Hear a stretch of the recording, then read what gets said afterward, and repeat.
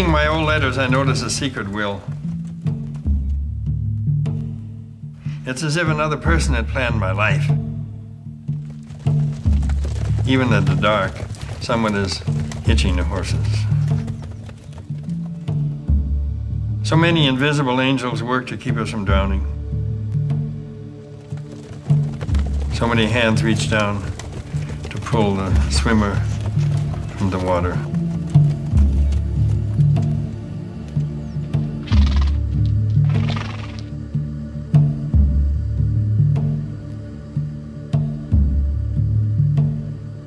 This story is probably the most told, retold story in Western civilization the quest for the Holy Grail. It's probably in hundreds of forms, and each one was a little different. There was a German tradition, an English tradition, a French tradition, and it seems to have emerged between 1180 and 1360. Turn to the possible reason why the stories would be done at this time. The Crusades began around the year 1000. It was a tremendous drain on Europe's culture, and it went on like 100, 150 years, and hundreds of them killed in Palestine and everywhere. Now, where you want to think of what it would be like if the Vietnam War had gone on for 150 years. Just to say that by the time that was that time was over, there was a great brutalization of the male. So in Europe, you have the same thing, only 20 times worse than the Vietnam War. Just went on and on and on. No one knows where these stories, uh, how, why did they all appear at this moment? And it was as if they were released in order to try to help the males in Europe to, to gain some sort of heart modes again. Emphasis seems to be that this kind of male brutality brought about by the Crusades can only be healed by something as subtle as a story. That is to say, the minister cannot do it in a sermon. You cannot do it by teaching philosophy that they don't touch enough parts of the heart and so on, that the story is the only one that can do this. This was a time when the clergy did not seem to be getting the gospel or wisdom teaching through to the ordinary people. And what happened, not surprisingly, is that the layman created a story that would describe the journey to God in layman's language. So it doesn't use doctrinal, theological, dogmatic language. It doesn't use conceptual language. It's very anecdotal and picturesque, uh, so the ordinary person could follow the story. And that's what story says. When things are out of balance, put them back in balance. And it doesn't matter who does it. The story itself insists on wholeness.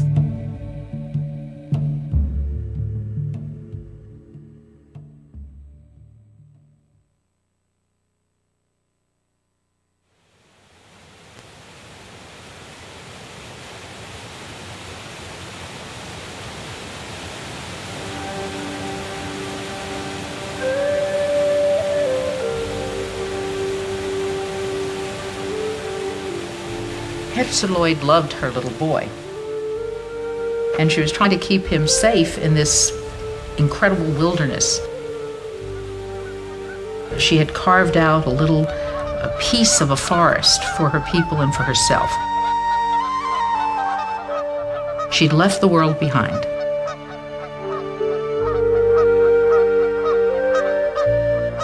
She has gone into the forest because her husband, was killed in these obsessive masculine battles.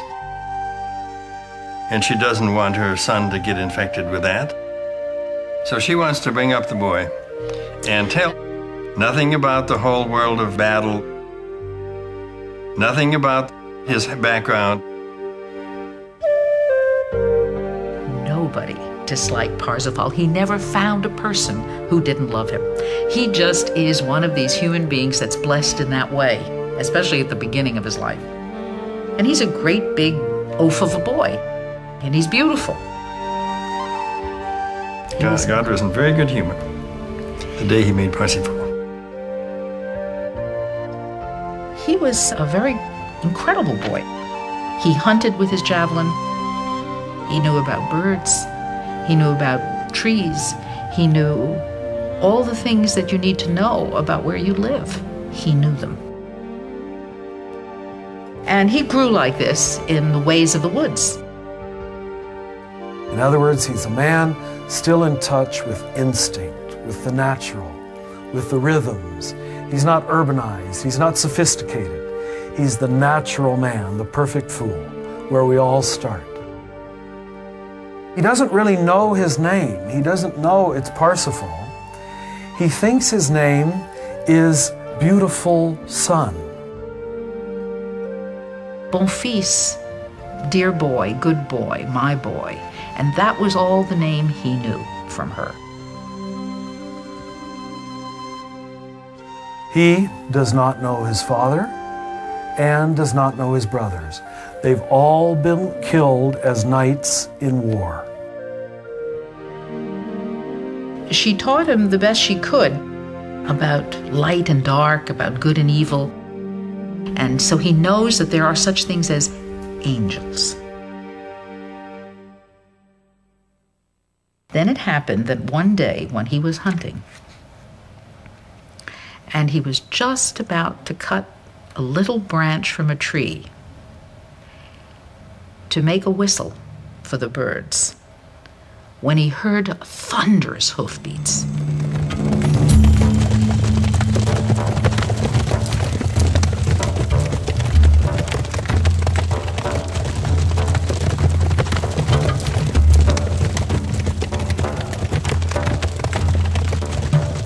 So he came out of the woods and he sees before him, in the woods, in a field, knights. But he doesn't know what they are. They're great apparitions. He sees in the fields apparitions. He has never seen human beings with armor on. These armored men are like bright lights to him. And he throws himself in front of them. And they pull up short and they see the boy and they say, Fool, what are you doing in front of us?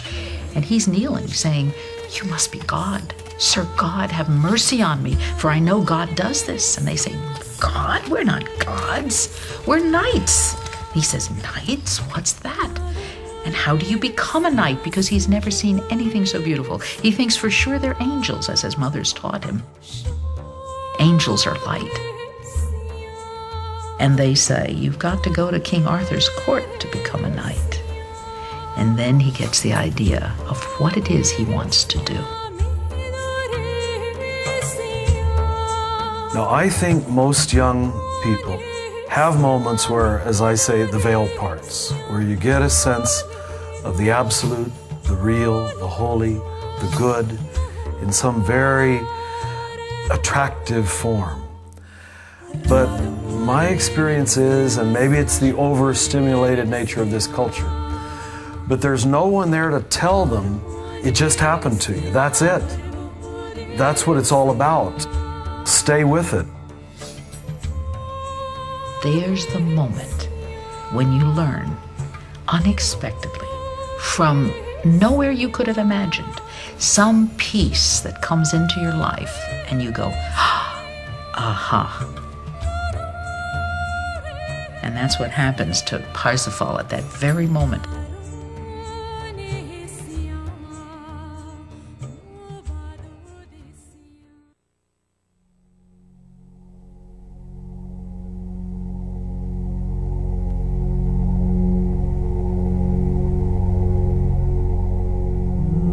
Herzeleid realizes that the worst has happened. He has seen some knights. This is the worst possible thing that could have happened. His mother does everything she can to keep the boy home, but he will hear nothing of it. He says he wants to find out what others call him beyond dear boy and beautiful son. She know that, knows that his heart is one of those hearts that's going to go straight ahead and is not going to pause or vacillate. So she realizes that, uh, he, that uh, that's it. So her plan didn't work. But she adapts to it. She makes for him a very rough garment. It's made of burlap and it looks stupid and it reaches down to his knees and she makes him some cloggy, funny shoes out of burlap and leather. And um, she said, This is what you should wear. He looks ridiculous, and she knows that that's going to be the case. She says to him, Go with the clothes that you have on. But I want to give you some advice. You might as well go out in the world with some advice. When you go along the river, go in where it's shallow enough for you to cross. Greet everybody. Doesn't matter who they are. Gotta say, gramercy. God have mercy on you. When you meet a gray haired person, listen to their advice. They've experienced things, learn from them. It's important uh, to treat women well, and you should also receive from a woman a ring and a kiss. And that's, of course, she's trying to tell him that she wants him to get faith. She wants faithful women. Parsifal's journey moves forward very much by his relationships with women, both positively and negatively. And he's going to meet every kind of woman along the way. The soul of a man is feminine, and he discovers his soul very often through his connections with the feminine in his life. The feminine in other men's souls or the feminine in women's souls. So to always respect women could be interpreted as saying, always be open to the anima, to the soul. Be open to the inside, be open to the deeper meaning.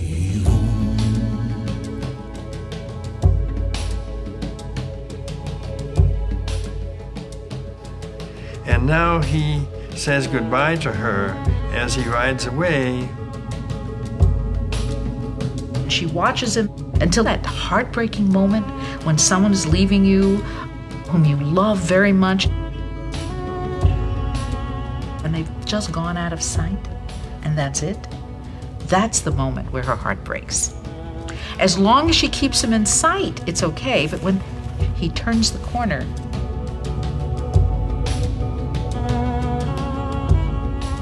and she actually falls on the ground and dies. And he doesn't look back, so he doesn't know that she has died, and he doesn't find this out for some time. But um, the grief was uh, strong enough so that, uh, so that she died.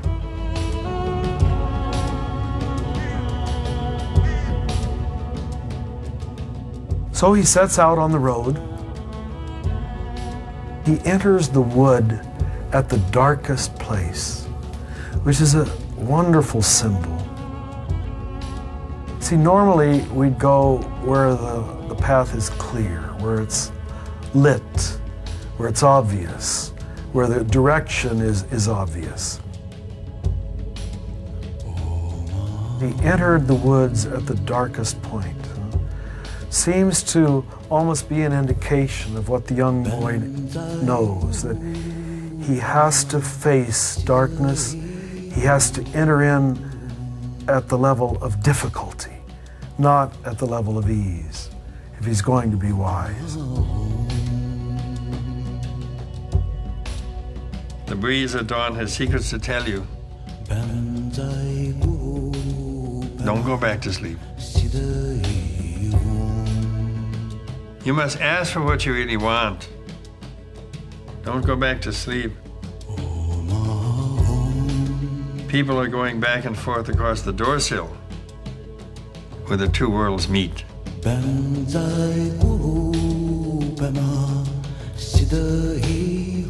The door is round and open.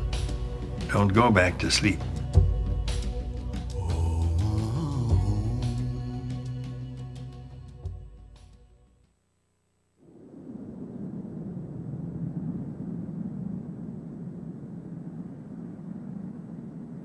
He's riding along the road and he meets one who's called the Red Knight.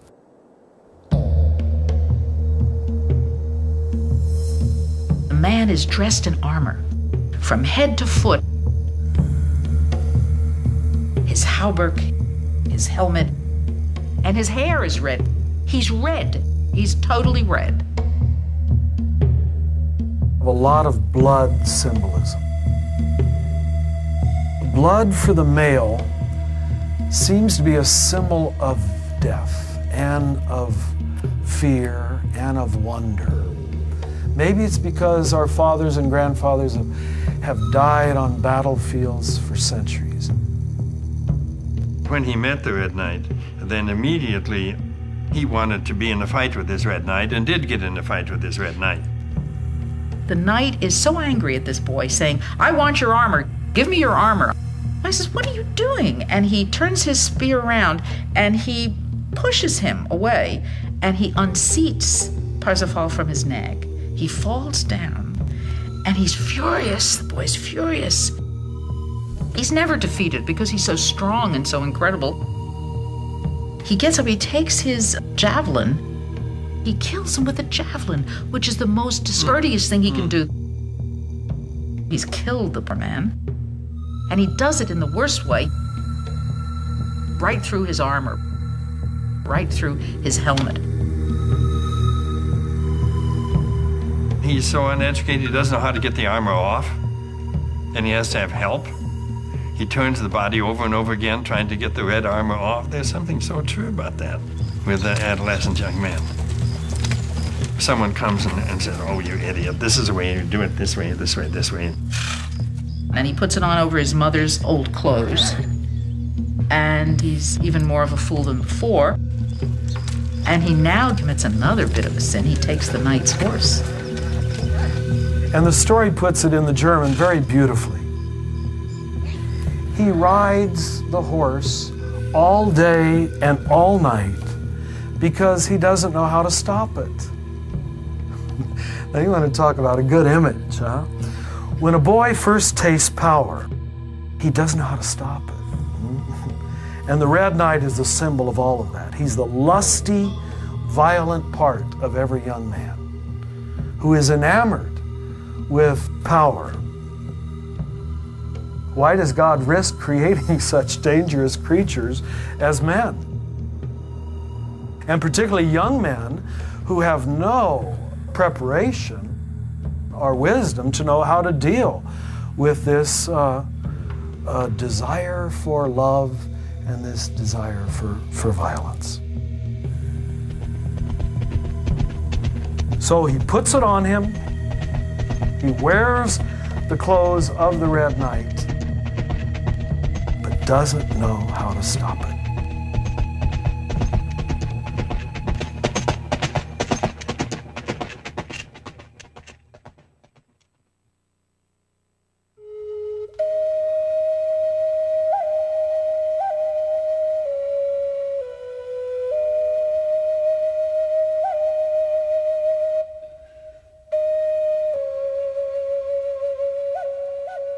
And then he comes toward evening, and the roof of a tower came into view.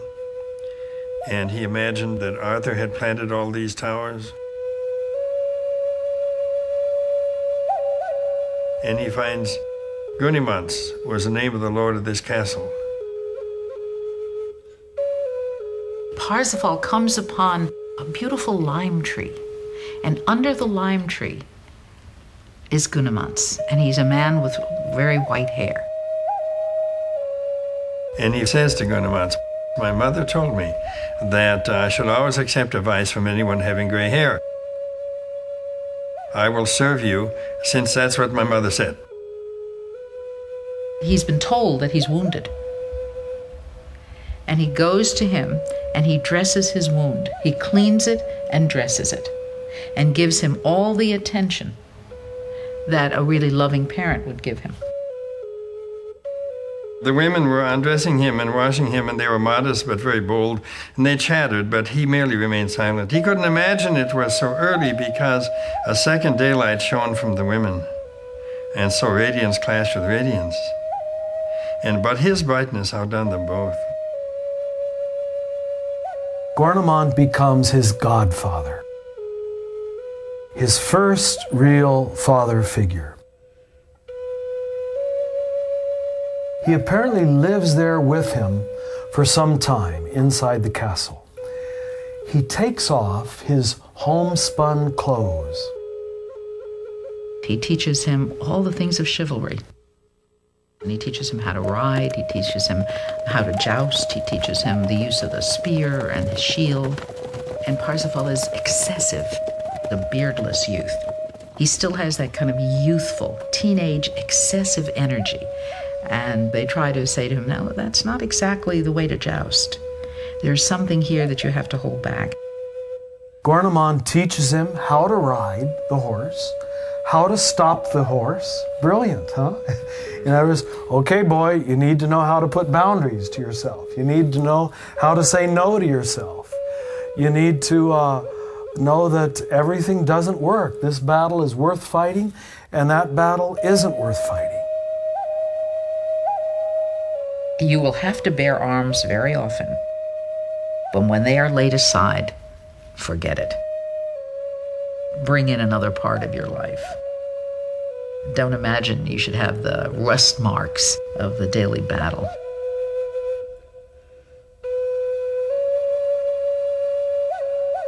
He also taught him how to wear the armor.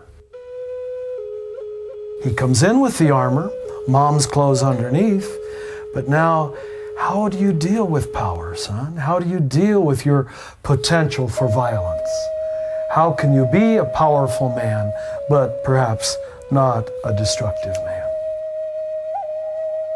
He teaches him how to be the correct knight. If someone asks for his life, you do not take it, you're merciful. That's what a good father teaches the son. But they didn't say it in the highly conceptual way I say it. They just say he uh, taught him how to stop the horse. Isn't that good? Huh? how to stop the horse. And he didn't know how to stop it up to that point. He says to him, Don't ask many questions.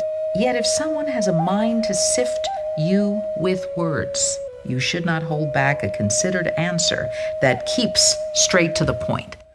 Gurnemanz is not a man who wants extra words the stuff that allows words to probably bring in other possibilities. And the boy takes this literally. And it's going to get him in trouble later on. After he's taught him all of this, he tells him one more thing. He says, Under no conditions, after you set back out on the road, are you to seduce or be seduced by a woman. You are to stay on the path you are to meet women and let them teach you, but don't you make love to them until it's the right time. Not surprisingly, he loses all of his idealization of his godfather. He doesn't like this bit of advice. At that point, he wants to leave.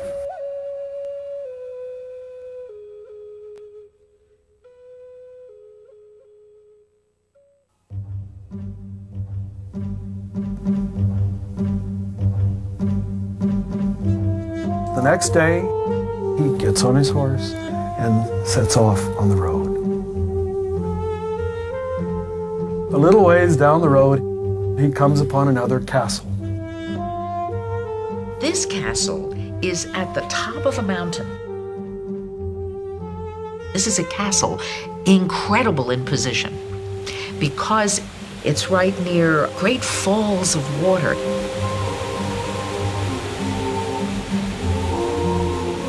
Parsifal has to go up and down these steps of stones and water to reach this castle. And the queen is Condwiramurs. Her name means the one who guides the flow of love. Kandwir Amur. Parsifal comes to the gate. They let him in. He sees everybody starving. It's a disaster in there.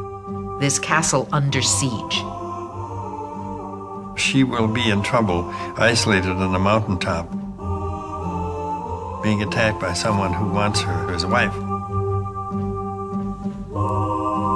She says, I'd throw myself down on those stones out of these turrets before I marry Clamide.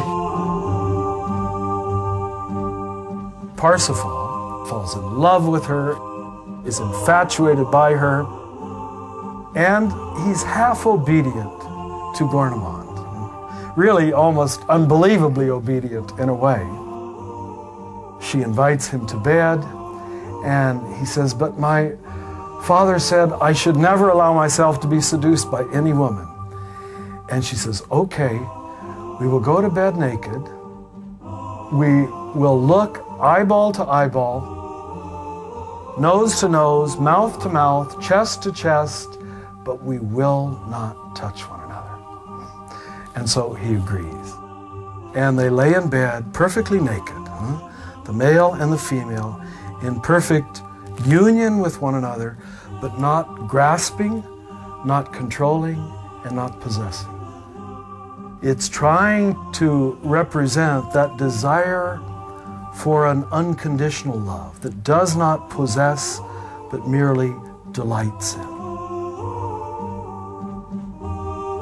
So they look in one another's eyes, delighting in the total beauty of the opposite, but not needing to possess it, not needing to have it for myself to be able to say that it is good and beautiful. In this particular book, Wolfram is very interested in showing the beloved as women, as men, as real people. They don't stand in for God, but they may be our way to God. The whole question of the beloved, then, is a strange thing because in Sufi work, always the issue is that you love a woman or a man, but you're seeing the image of God in their face. Though you may not know it, that the person is merely standing in for the one you really love. So it's that first infatuation. It's Dante's encounter with Beatrice that for the rest of his life uh, sets him out in search of the perfect feminine relationship. Really sets him out in the search for God. Remember that every love that we seek is a search for God. Every time we're seeking the good, the true, and the beautiful, we're searching for God. You're kneeling on the cold stone, all that work you're doing. They're like company men working for retirement in heaven. The work is not done by denying your body, by kneeling on the cold stone. That isn't how the work is done. The work is done completely through the love for the universe and for God and for the woman or the man.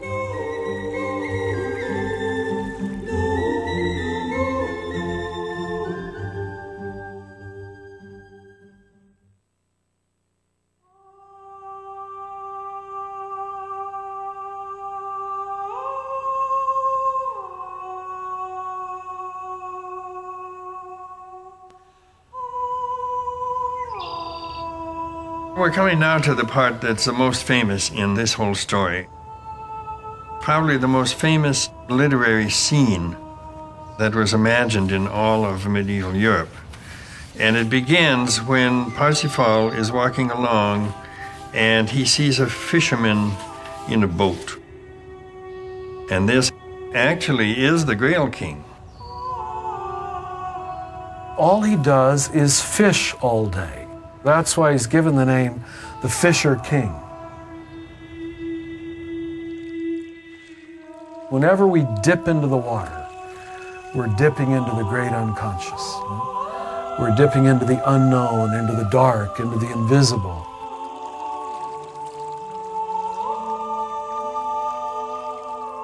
I think you can certainly say this is a man who hasn't found himself, right? And he's just casting the, uh, the line into the sea trying to find who he is. The land that he lives in is described as a wasteland. The crops are dying, the people are depressed, the monasteries are empty. Marvelous symbolism. We've lost touch with our spirituality. The people are depressed, they're not alive, they're not excited, and nature itself, the crops, are dying. Now, the Fisher King might be described as a, the impotent leader. Hmm? It says that he's wounded. He's wounded in the groin, seemingly a symbol of he's, he's infertile. He's incapable of passing on life. The wound that the Fisher King has, which will not heal, which is near his sexual side, we also understand it to be near his creative center. And this has tremendous pain going on. It's a wasteland of a country led by a wasteland of a man.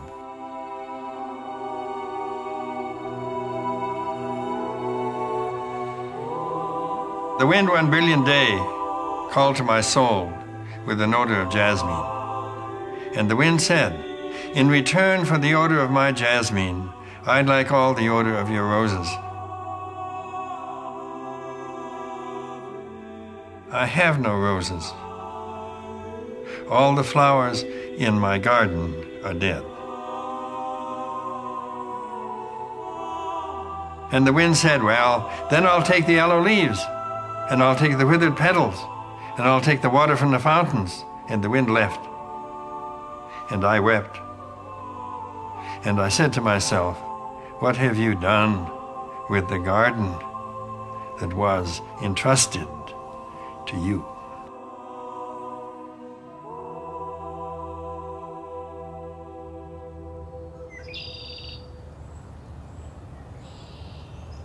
And he talks to this fisherman in a boat. And the fisherman says, There's going to be dinner at my castle. Would you like to come tonight? This castle is not easy to find. Even though the Fisher King says it's right over there, he kind of points to where it might be. But to get to it, literally and metaphorically, requires an incredible feat. But eventually, Parsifal does arrive at the castle. It's totally astounding. I mean, it's an enormous castle. An enormous festival is about to begin. And the king says, Come sit by my side. He shows him great honor. Parsifal does not know that this ritual um, is a possibility for all of this to end, all of the suffering to end. And he's at the very center of it, though Parsifal thinks of himself as simply a visitor coming in. The doors of the Grail chamber open, and the first thing that comes out is a man with a sword. I would interpret this as the slaying of the soul the major surgery that it's going to take for you to comprehend what you're about to experience. The price of, of greatness is always suffering. And so the first thing that comes out is the promise of suffering. The second person coming out of the Grail chamber is a bleeding lance. The lance is clearly what Jesus was wounded with on the cross, and we're talking about a story coming from a deeply Christian culture. So we have the blood flowing out from the center. The liquid essence of God is flowing toward you. Then, only after the bleeding lance, comes this beautiful woman holding the Holy Grail.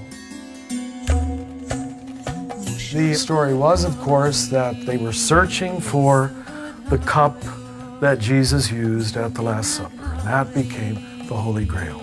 So the finding of the Holy Grail was, of course, an image of the finding of God, a personal discovery of God in your life. Everyone in this room is enchanted. And as Joseph Campbell said, they know what is necessary to break their enchantment, but they cannot do it. The enchantment can only be broken from someone who comes in from the outside and says, What's the matter here? The heart of this whole story is the searching for the right question. The really important thing in terms of wisdom is not knowing the answer, it is knowing what the question is to ask. This problem can only be solved by breaking the enchantment itself, which has to be done by someone who is willing to ask these questions. Parsifal has been told by Gurnemanz not to ask many questions, and he doesn't ask questions.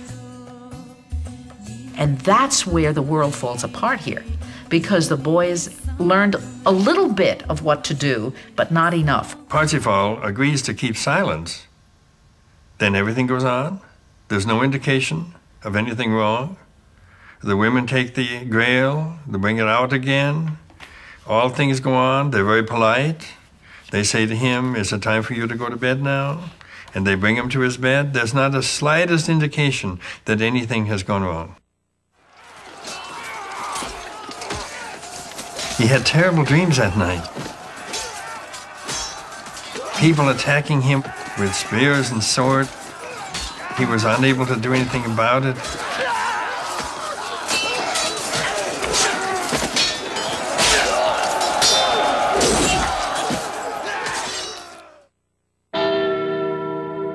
He wakes extremely troubled from the dreams. Now he's all alone.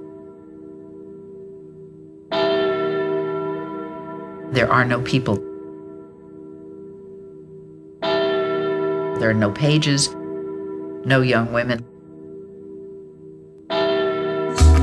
He ran through many of the rooms calling out for the people, and he didn't hear or see a single one.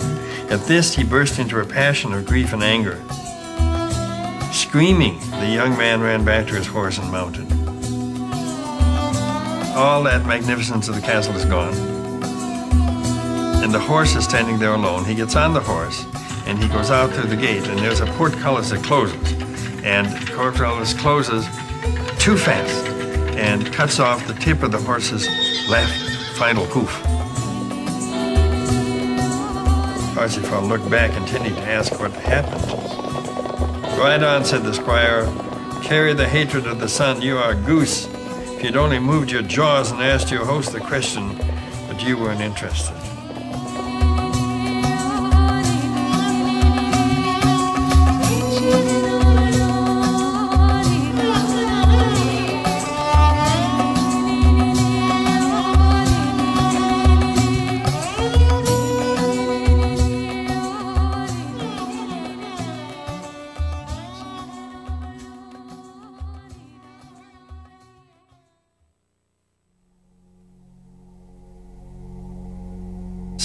After the castle, he sees a maiden much praised by her loyalty.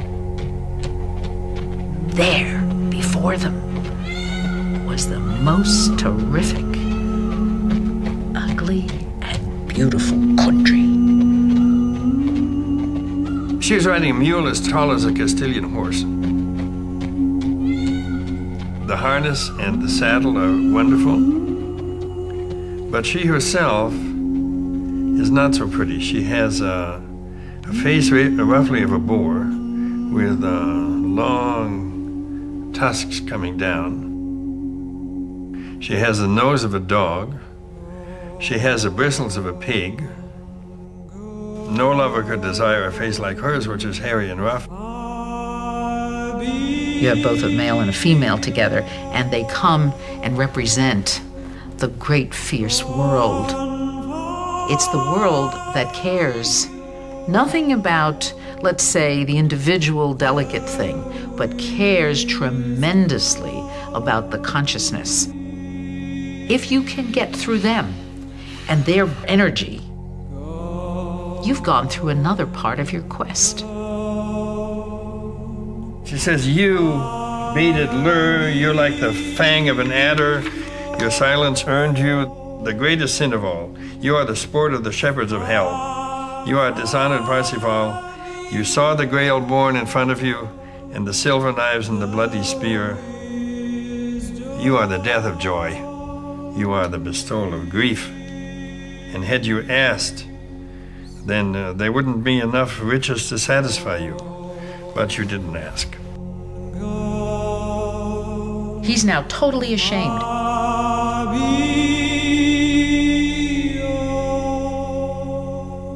It seems that it's only the world of darkness, failure, disappointment that teaches us the essential things patience, letting go, surrender, compassion. You don't learn those in a world of full light. You don't have to feel the pain of others or the pain of yourself. And so when the wounded ones come into your life, you have no patience with them because you think it's all light.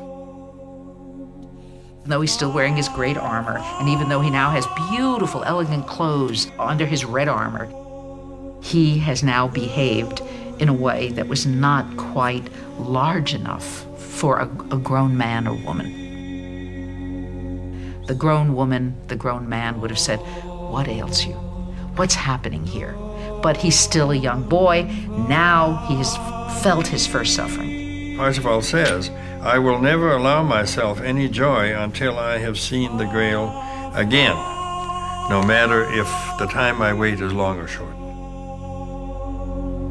So this shaming by her did not cause him to lose his intensity or his courage. He actually continues the quest. Is it logical you would be walking around entirely orphaned now? The truth is, you turned away yourself and decided to go into the dark alone. And now you are tangled up in others and have forgotten what you once knew. And that is why everything you do has some weird failure in it.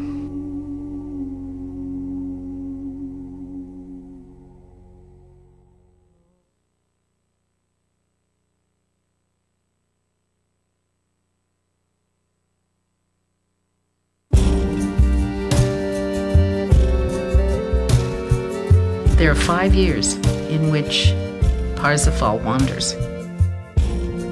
And the most beautiful image here and metaphor here is that he's looking for the Grail Castle again. Remember, it's the place of his shame, of his, of his pain, of his failure, is looking for the Grail Castle. And he cannot find it. He cannot find it. He can't find that way back again. Now, this setting out on the road and just having experience after experience is undoubtedly an image of all of our lives. That, that it's all a school, everything's a lesson, and everything that comes along is another opportunity to learn something, good or bad. He stumbled upon it by chance, by something in his life, but now he must find it in a different way, more committed place. And he can't find it yet.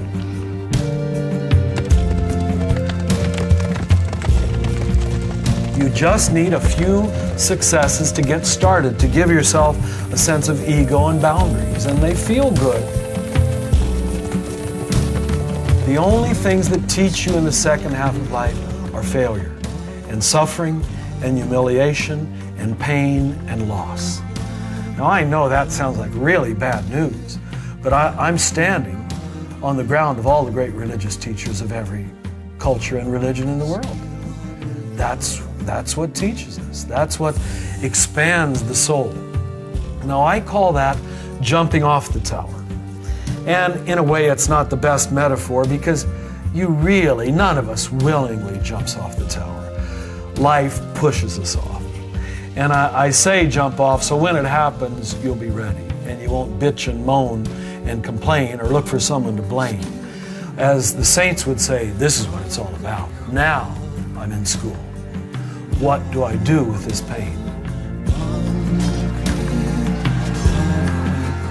We're looking at something here which American literature doesn't look at very much, which is the possibility of real tragedy. That life itself, the whole life on this earth, the whole globe is connected with incredible tragedy. Spiritual growth has to do with many dyings and many rebirths. When we hear Western Christians speaking of being reborn, as if it's something that happened once, it just doesn't happen that way. You've got to pay a lot of prices and a lot of surrenders for those moments of rebirth. It's too much, too much.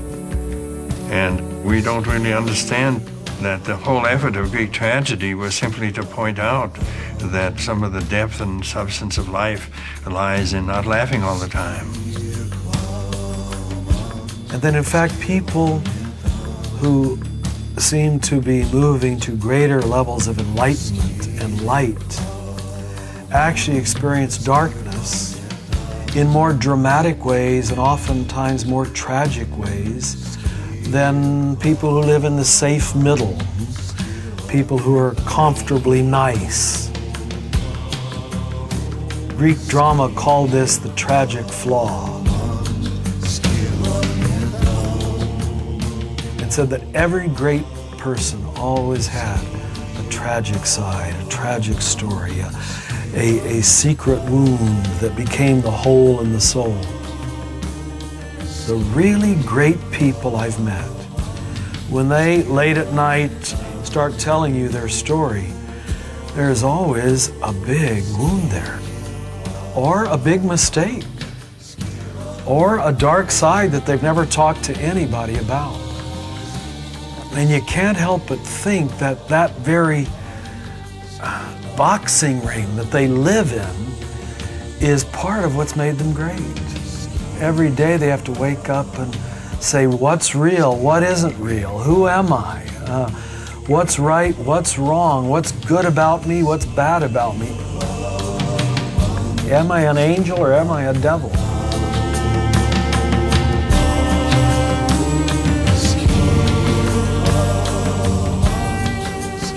Only now, said Parzival, when I realized I have been wandering with no sense of direction. I bear a heavy pack of grief, and I will tell you more. All this time, I was never seen to enter any church or minister where God's praise was sung. All I sought was battle. I'm deeply resentful of God, since He stands godfather to my troubles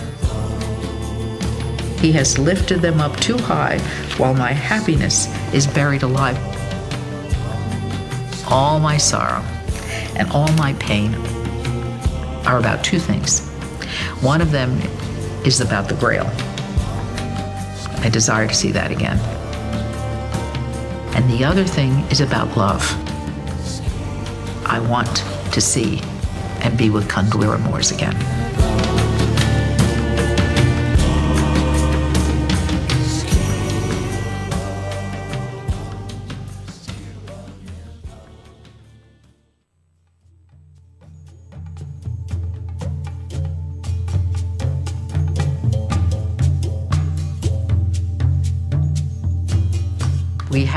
Prince of Anjou. We have the Angevin, who's now coming from the Middle East. The same doughty youth had anchored in an inlet where the forest came down to the sea. In keeping with his power and wealth, he had 25 armies. So here comes Feirefiz, and here comes that army. More armies, more battles. I cannot keep this infidel from the Christian and prevent them from coming to blows. This ought to sadden all who are known to be good women, for each of these men was exposing his life to fierce attack for his mistress's sake. May fortune settle it without loss of life. They start talking about who are they, who are they, who are they. He says, My name is Feirefiz the Angevin. Parsifal asked the infidel, What entitles you to call yourself Angevin? Anjou is mine by inheritance. You should choose another city. And then he says, I am Feirefiz. I am your brother. Now, sir, by the care that has formed your breeding, since it seems you have a brother, tell me what he looks like, said Feirefiz. Describe his face to me, and what sort of complexion they told you that he had. Well, he's like a parchment with writing, black and white in patches. They take their helmets off, and they find out they're brothers. It's a crucially important part of the story. Instead of killing the knight and driving him back, he invites him out and makes friends with him. Now, I mean, honestly, you could think you're talking about 20th century Jungian psychology. hmm? We call it making friends with your shadow, forgiving that part of yourself that you're afraid of, that part of yourself that, that you think could kill you, in fact, becomes his friend. So we see we have the beginnings of a man. What is being asked for in the whole story is someone who will not get attracted to the side of the Christianity nor of the Muslims. Someone who won't get caught either on the side of, of uh, women nor of men. Someone who doesn't get caught on the side of brutality or weakness, but always goes through the center. Parsifal to go straight through the valley, straight through two oppositions, to pierce the veil. It's a great feast. They all come, they're all invited. Hail to this day, they say.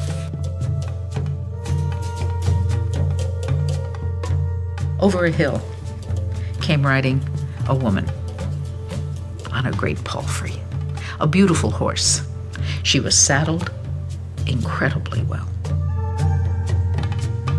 And this woman, with great authority, went to them and said, I have come to ask forgiveness of a wrong. Something has happened that I must announce. And then she took her hat, great beautiful thing that it was, and she took it off. And there, before them, was the most terrific, ugly, and beautiful country. And she said, I announce here that there has been one who has been forgiven. My words taken back, for there is one here who can now find the castle. And all of a sudden, Parsifal, his heart beating faster, looked up and saw that she was bathed in the doves, the insignia of the Grail castle. And he saw that it was his former enemy, Kundry herself. And he forgave, and Kundry was glad. It was all done now. I have a feeling that my boat is struck down there in the depths against a great thing, and nothing happens. Nothing. Silence, waves, nothing happens. Or has everything happened? And are we standing now quietly in the new life?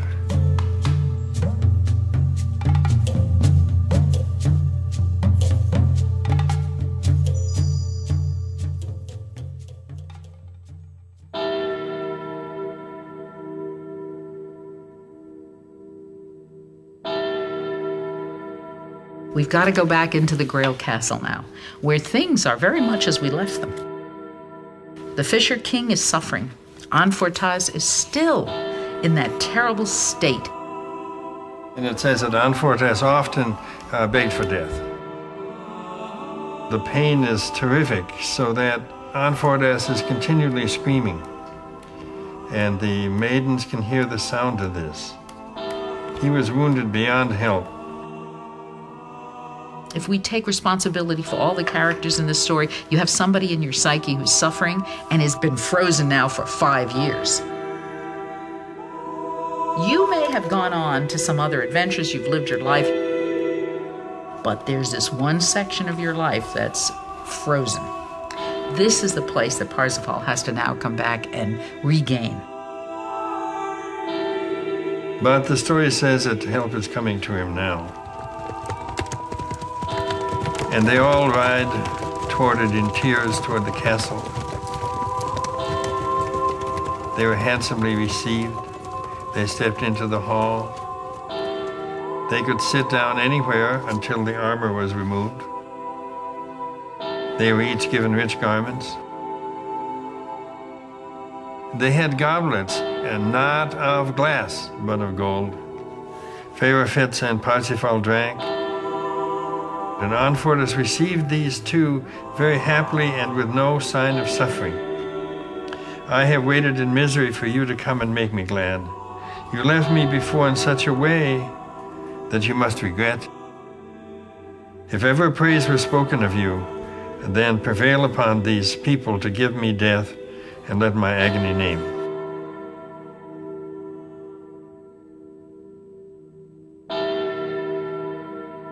Rose to his feet again and says, Uncle, what is it that troubles you? Uncle, what is the matter? What is this suffering from? Well, that was the moment that he didn't say five years before.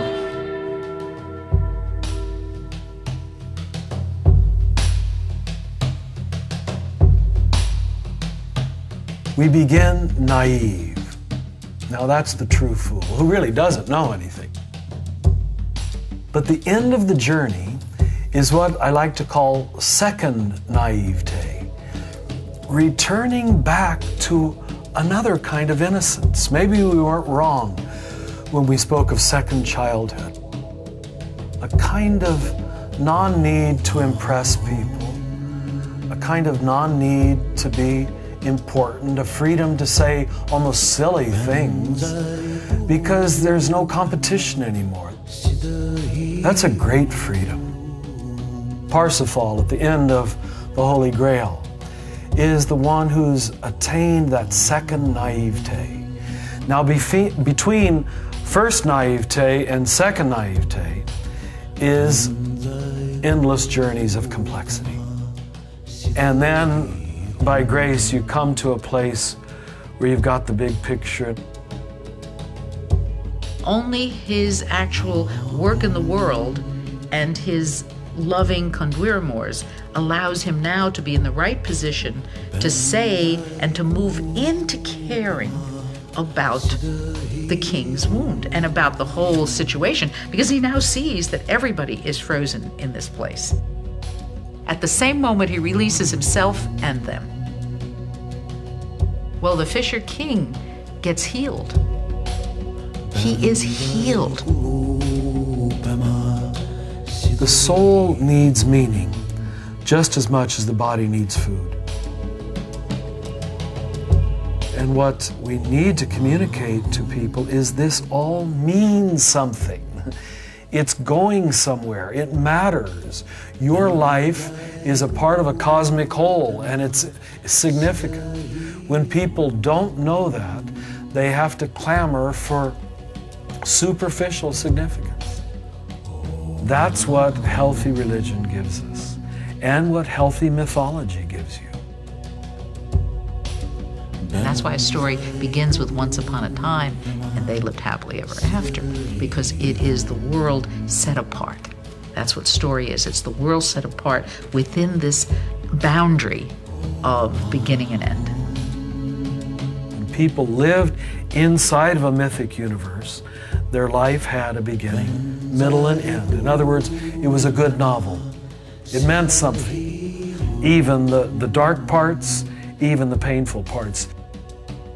That's why it is not only a story about knights and men and women, it's a story about journeying, failure, all those things that we live and share together in this pot that's larger than the specific.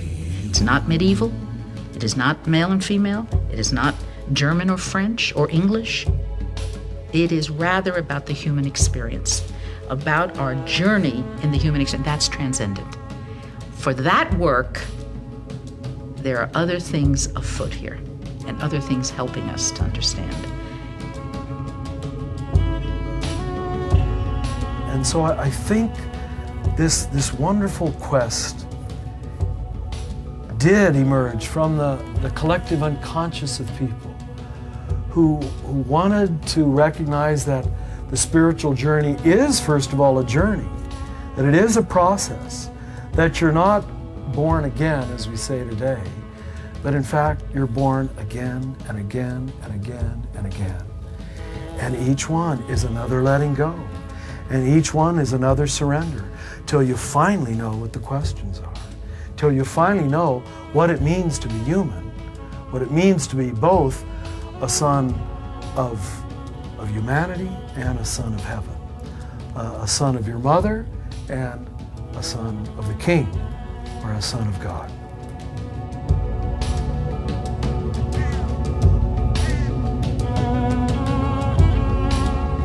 Even if you have failed your vows again and again, come. Come and start again with me. Even if you have violated all the hopes and the promises you have made, come, come. This is not a caravan of people who succeed. In my religion, there's a caravan of those who have failed. So come, come.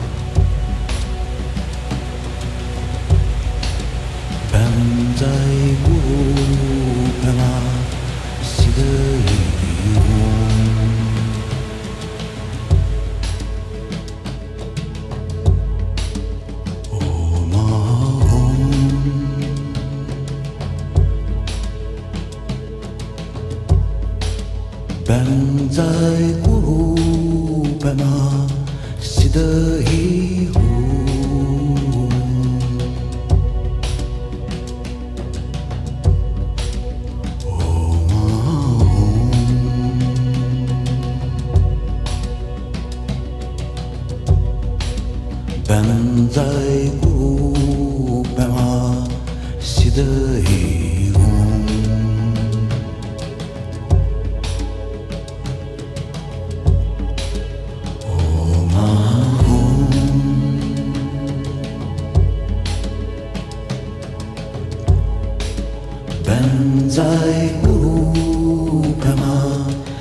这一